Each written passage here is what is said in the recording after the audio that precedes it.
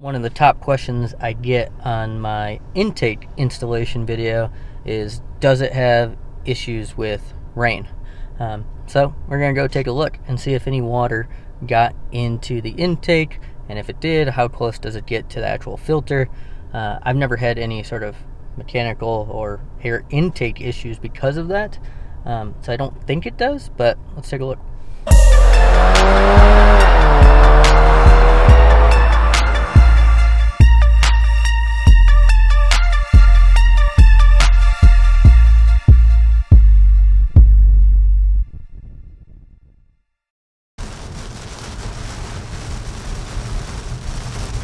All right, so uh, I just stopped because it just stopped raining, and uh, as you saw from that video clip before, um, it was raining uh, super hard. Like 50% uh, of the cars on the road uh, pulled off uh, just because visibility was so bad for a little bit.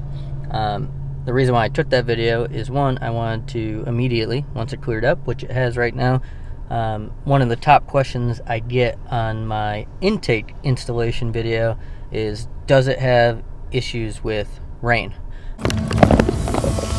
So what I'm seeing, obviously lots of raindrops coming in on the seal here. There is some right around the air filter and there's even some here on the battery cover. Um, you know, which obviously leads me to believe that water was coming in fast enough to get sprayed up and over the air intake.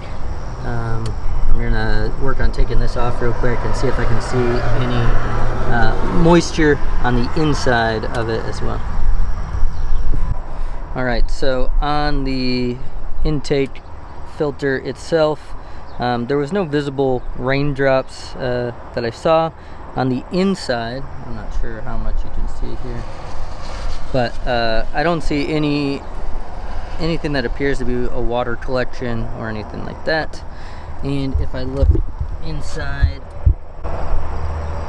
the stack here, I don't see any sort of residue coming in and don't feel any sort of uh, moisture on the inside of this intake. So, um, hopefully that's helpful. Uh, obviously, it's not very scientific but uh, just wanted to take a look. Uh, so that was an extremely heavy downpour of rain, and uh, yeah, like I said, I've never had any issues with water getting into the system, or at least not that I know of, and uh, it doesn't look to be that the penetration was that bad either.